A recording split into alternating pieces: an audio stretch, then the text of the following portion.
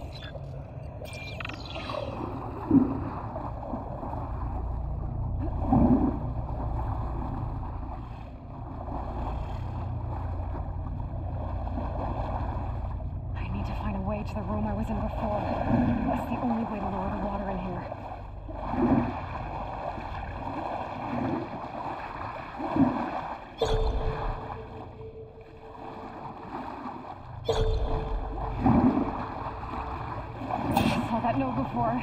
Maybe you can help me out.